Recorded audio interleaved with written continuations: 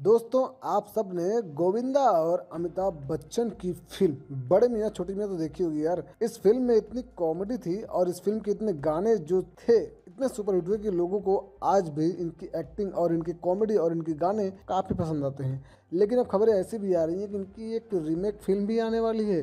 जी हाँ लेकिन इसमें गोविंदा और अमिताभ बच्चन नहीं, बल्कि कोई और होगा। कौन होगा, बताते हैं। इसमें होंगे बड़े मियाँ और छोटे मियाँ, यानी कि बड़े मियाँ होंगे हमारे अक्षय कुमार, खिलाड़ी कुमार साहब, और वहीं छोटे मियाँ होंगे जैकी श्रॉफ के सुपुत्र, और बॉलीवुड के सुपरस्टार कहे जाते वाले अब टाइगर श्रॉफ जी हाँ टाइगर श्रॉफ और अक्षय कुमार इस फ़िल्म में बड़े मियाँ और छोटे मियाँ का किरदार निभाते हुए दिखाई देंगे हम सभी को।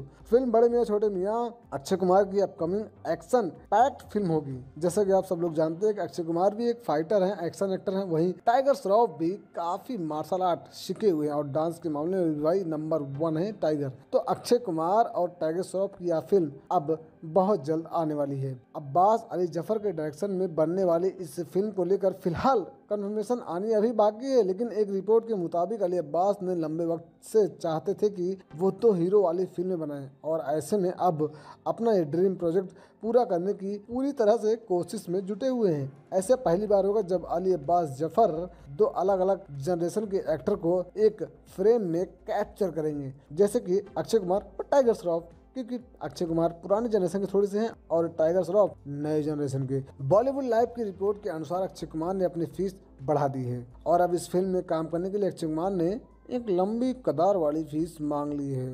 लेकिन फ़िलहाल देखना होगा आखिर यह फ़िल्म आती कब है और अक्षय कुमार भाई साहब कितने फ़ीस लेते हैं इस फ़िल्म के लिए। लेकिन सबसे बड़ी बात तो ये होगी कि अक्षय कुमार यानी कि खिलाड़ी कुमार और टाइगर श्रॉफ, जो कि हर एक चीज़ों में नंबर वन है, इन दोनों की जोड़ी इस फ़िल्म में क्या कहलाती है। गोविंदा और अमिताभ बच्चन की जोड़ी को लोगों ने खूब पसंद किया था, लेकिन अब देखना होगा कि अक्षय कुमार और टाइगर श्रॉफ की जोड़ी को लोग कितना पसंद करते हैं। कॉमेंट में अपनी राय ज़रूर दीजिएगा। मिलते हैं वीडियो में।